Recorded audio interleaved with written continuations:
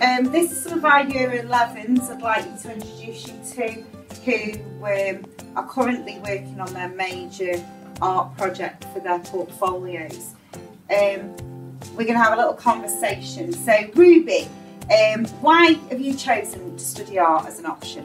Um, because I really like exploring all the different aspects and different artists because they all have different techniques and I think it's really interesting to include it all in your work and find out which one suits you better. Uh, I feel like it's a way to express yourself and express your beliefs in a really pretty way. Really, I like looking at all the different artists and their methods and how they create their pieces and then including that in my work because um, then I can see throughout my um, like workbook all of my different styles and that's nice seeing my improvements. And... What, um, what different materials have you been using? Because you're all quite very different in your skills and you've all got your different strengths. What materials do you like using? I've been using acrylics. Have you? Acrylic yeah, I, I like uh, using acrylics as well because you can get loads of different textures and colours and yeah. it just makes the work look more 3D. Yeah, same as mommy. I used to like always use like pencil and I used like some skins and different things because I thought if I messed up I could rub it out. But now I use pen and I really like it. I get a lot of detail. What are you working on at the minute, Lily? Um, I'm doing interior design and I've done an artist. I'm just went on studying. Okay, what about you, Alex? Because you have been um, using some different materials. The others mentioned acrylics, and yeah. um, we've had pencil and pen, but actually you've been using graphite, haven't you? Yeah, you can see we're getting quite messy um, with your hands. yeah.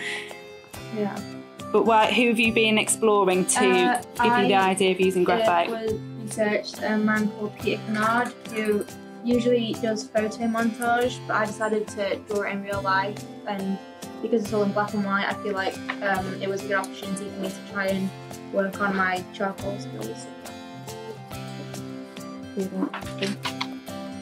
Molly, can you talk about your project that you're working on at the moment?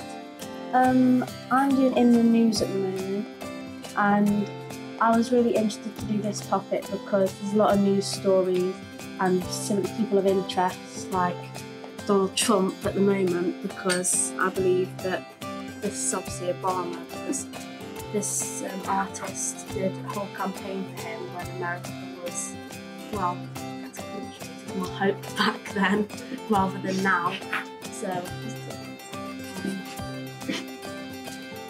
Okay, lovely. Um, Ruby, what about you? What are you looking at? Um, I've decided to do in the news too, but I've decided to take it on a more personal aspect and what I find more interesting in the news. So I'm really into my shooting and gun dogs, but because of the new lockdown, it's been in the news a lot because it's exempt from the six person rule. Did anybody um, go on any visits last year? We had a visit, didn't we, last year? Where's the art gallery? The art gallery. Yeah. Saw Lowry and Leonardo da Vinci. Well, for remembering those names. Um, what have we? We've got some coming up. Can anybody explain what we've got coming up? Um, we've got a trip to the V&A coming up in London, where think we're going to explore a different project we did last year. Well, it also links into these projects. We did social commentary last year and news and well, interiors and personal histories, other options all have ties to that.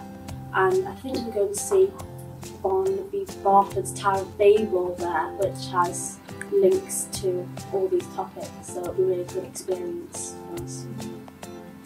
Yeah, we're also going to um, Bridgewater to create our own like ceramic houses in the style of Gombe Barford's uh, of Babel where it makes individual ceramic houses. So we're having a go at doing that ourselves. Yeah, we're also going to be creating our own stamps as well and yeah. uh, stamping them on some ceramic ware with Emma Bridgewater and seeing that process.